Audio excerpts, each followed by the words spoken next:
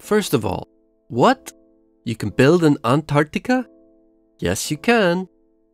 Building in Antarctica has been ongoing for several decades, primarily to support scientific research and exploration. And now the British Antarctic Survey is embarking on an ambitious project, building a new cutting edge research and operation facility called the Discovery Building at its Rothera station, located on Adelaide Island just below the formidable Antarctic Circle. The first ever building constructed in Antarctica was likely one of the early research huts used by explorers during the heroic age of Antarctic exploration.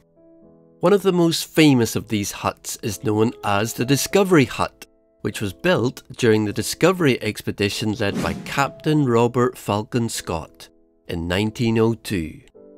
One of the earliest modern research stations built on Antarctica was the Soviet Union's Mirny Station, which was established in 1956 and officially opened in February 1957.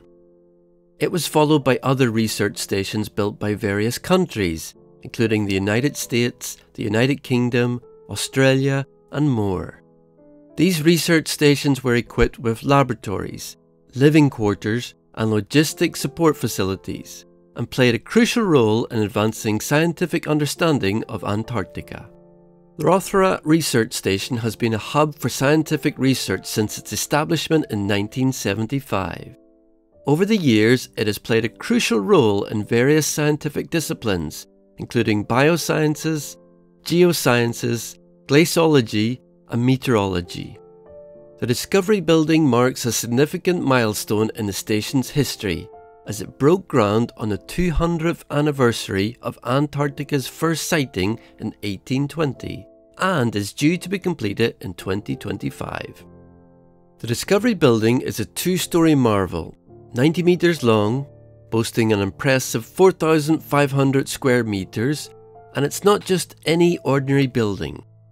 It's a multifaceted facility designed to accommodate a wide array of essential functions that will replace a number of buildings that have reached the end of their life. The Discovery Building's energy efficient, aerodynamic design is oriented to minimize snow accumulation and withstand the challenging Antarctic weather. Notably, it incorporates a snow and wind deflector, a first of its kind at this scale in Antarctica. The building's pale blue colour, inspired by the Antarctic sky, minimises UV degradation.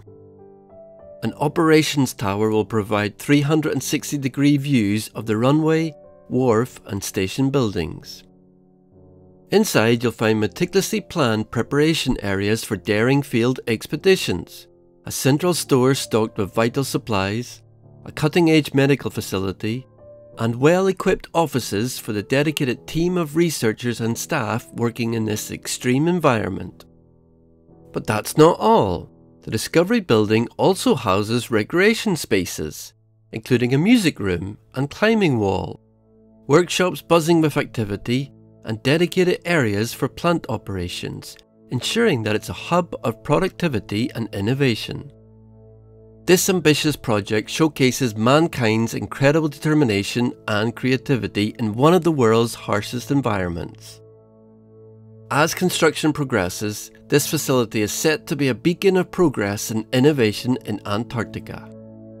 What sets this project apart is not just its scale but the logistical challenges it faces. All the material needed to construct the facility must traverse treacherous waters and be delivered by ship. Once they arrive, they are erected according to a carefully managed program, ensuring that the building can meet precise seasonal milestones dictated by Antarctica's unforgiving climate. Construction can only take place in the short Antarctic summer, from around November to April. The temperatures are usually between 0 to 5 degrees centigrade, but because the station is just south of the Antarctic Circle, it is light for 24 hours a day during summer. During their stay at the station, construction teams of around 54 work, rest, and play with approximately 100 scientists who join the station's vibrant community during the summer months. Meticulous planning is essential for each summer season because every single component, right down to the tiniest bolt, must be transported over a staggering 9,000 mile journey by ship from the UK. Last summer, a dedicated team of 60 individuals achieved significant milestones. They successfully completed the cladding, laid the first floor slabs, and executed the precision task of lifting the building's operation tower into position. Remarkably, they had rehearsed this intricate manoeuvre in Scotland to ensure it was executed flawlessly in Antarctica. The building is now weather tight. Just in time to survive the frightening cold winter temperatures, ranging minus 5 to minus 20 degrees C. The construction team is scheduled to return to continue construction in November 2023. During this time, the project planners aim to fit out the building.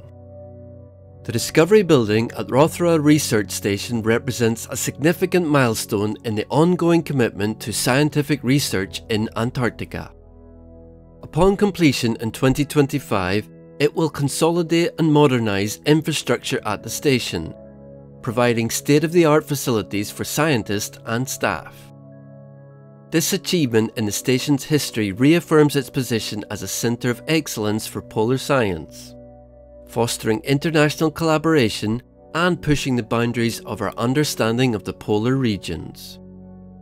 This remarkable structure embodies the spirit of exploration and scientific discovery in Antarctica, where human curiosity knows no bounds, and the pursuit of knowledge continues to push the boundaries of what is possible. The Discovery Building stands as a symbol of our unwavering commitment to understanding this enigmatic continent and its critical role in our understanding of the world.